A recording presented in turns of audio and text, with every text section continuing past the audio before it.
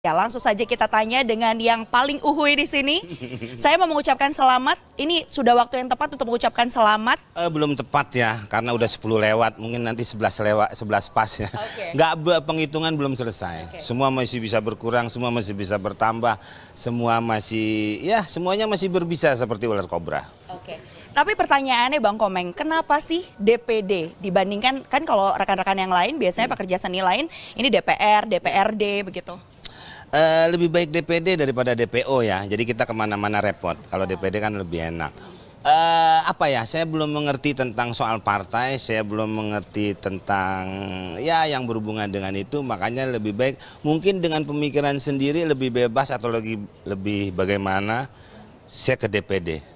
Tidak menutup kemungkinan ya saya juga nggak tahu. Waktu itu pun saya bilang saya nggak akan terjun ke dunia politik, akhirnya terjun. Tidak menutup kemungkinan saya juga masuk ke partai, ya saya nggak tahu. Tapi tadi apa yang kemudian membuat seorang Komeng memutuskan untuk terjun ke dunia politik? Eh, nah itu dia. Apalagi terjun payung, payungnya dipakai kondangan. Ya itu dia. Tadi waktu awal memang saya tidak terlalu ini, tapi cuman saya hanya ingin membela hari komedi. Tapi terlalu sulit tidak masuk tidak masuk. Apakah saya kalau masuk di dalam saya bisa? Apa itu maksudnya hari komedi? Boleh dielaborasi Bang? Semua hari di bidang seni ada. Hari film, hari musik, hari komedi ini belum ada. Mbak belum pernah dengar kan? Nah, waktu itu kami pernah dengan teman-teman di Persatuan Seniman Komedi. Kebetulan saya dulu pernah menjadi ketua tapi di Jabar, di Jabar ya. ya. nah itu eh, saya mengajukan itu hari komedi, tapi belum ada sampai sekarang. Sudah beberapa kali ganti ketua umum, belum ada kabarnya. Nah, apakah saya bisa mungkin membantu banget kalau saya ada di dalam? Mungkin ya, saya juga belum tahu. Sebenarnya gara-gara cuma itu gitu. Oke. Tanggal berapa biasanya kalau ingin merayakan hari komedi itu? Bang? 27 September hari lahirnya Bing Slamet. Saya sudah bicara dengan eh, putranya Adi Bing Slamet dan dia setuju bahkan pernah selapan, pernah sembilan atau sepuluh. Oke. Ya. Ya. Tapi sebelumnya juga saya pernah dapat informasi bahwa Bang Komeng ini bahkan sempat berdialog dengan Menparekraf juga terkait dengan hari komedi itu. Tapi bagaimana itu hasilnya? Saya dengan Mas Menteri belum pernah membicarakan itu yang saya pernah eh, bicarakan waktu dia jadi wagub yang berhubungan dengan komedi. Waktu itu saya minta tempat supaya eh, ada terus komedi di Jakarta. Waktu itu sempat dikasih dari awal sebulan sekali. Sempat dikasih waktu Mas Menteri jadi wagub ya Pak Sandi. Kalau kemarin saya bicara lagi itu masalah eh, soal eh, kuliner luar yang begitu derasnya di negeri kita. Sedangkan makanan kita rendang aja nomor satu di dunia. Tapi tidak begitu deras di negara luar. Cuman itu aja sih. Masuk curhatan soal anaknya ini ya, Mas Gaga Aldi yang katanya sempat eh, di luar negeri tinggal dan harga kuliner ini cukup tinggi uliran Indonesia. Boleh dielaborasi terkait cerita itu, Mas? Karena itu jadi salah satu motivasi ya. Ya, itu juga kalau kita keluar, saya juga pernah makan gaduh waktu dia sekolah di Kanada itu ayam geprek tuh katanya 500 ribu. Saya bilang, lu kok minta duit mulu cuma mau makan ayam aja. Enggak, ini satunya 500 ribu belum pakai nasi, belum apa gitu.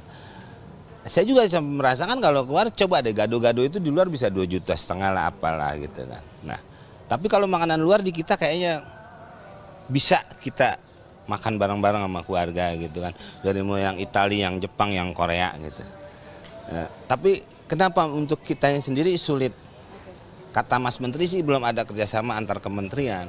Makanya bumbu-bumbu masuk tuh eh, untuk ke negara sananya agak kena pajak mahal gitu sih. Bang Komeng, tapi memang selama ini kalau sebagai pekerja seni, sebagai pelawak, komedian, hal-hal seperti itu sulit untuk dilakukan ya sampai akhirnya memutuskan untuk ikut terlibat menjadi anggota DPD. Ya itu aja tanggal aja kemarin kayaknya ah susah amat nih gitu. Makanya saya coba masuk ke dalam. Mungkin kalau udah di dalam nih teman-teman yang di dalam juga bantuin si Komeng karena orang dalam gitu kan. Jadi kayaknya sekarang ini butuh orang dalam. Makanya saya jadi orang dalam. Tapi Bang Komeng, kita tahu bahwa dengan terjunnya pekerja seni, artis, komedian, ini juga ada stigma-stigma bahwa men- eh, hanya mendongkrak popularitasnya. Nah, bagaimana Bang Komeng memutus stigma itu dan memastikan nanti bisa benar-benar tadi menyampaikan aspirasinya? Kalau saya sama teman-teman saya tanya yang pernah di DPR ya, kenapa sih lo gitu? Nggak bisa memperjuangkan gue gini-gini. ya dia itu harus eh, keputusannya ada di partai. Kadang-kadang dia tidak bisa menentukan sendiri apa yang kita minta katanya ya. Makanya saya coba lewat DPD yang tanpa ada partai. Tapi apakah mampu kalau sendirian begini gitu? Atau dengan teman-teman lain yang tidak punya partai? Nah itu dia saya belum tahu. Nah, bicara soal partai nih Bang Komeng, sebelumnya apakah sudah ada partai-partai yang sempat merapat? Walaupun kalau kita tahu DPD ini jalurnya independen. Ya pernah sih ada lah, banyak beberapa partai banyak. Pernah dan waktu itu juga memang saya sampai sekarang sih belum ada niatan ke situ, belum ada.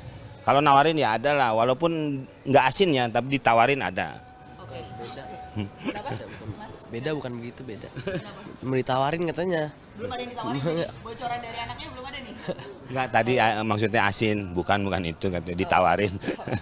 Oke, Bang Komeng, eh, ini ya kita mau tanya juga soal bagaimana kemudian visinya Bang Komeng. Ini menyatakan bahwa Indonesia yang lebih uhui, Indonesia yang lebih apa? Komedi, sukacita begitu. Eh, apa yang kemudian menjadi alasan utamanya visinya? Gak sebenarnya saya cuma bilang eh, kita lebih berbahagia aja. Kalau kita bahagia gembira itu kan trigger untuk mencapai kesejahter- kesejahteraan.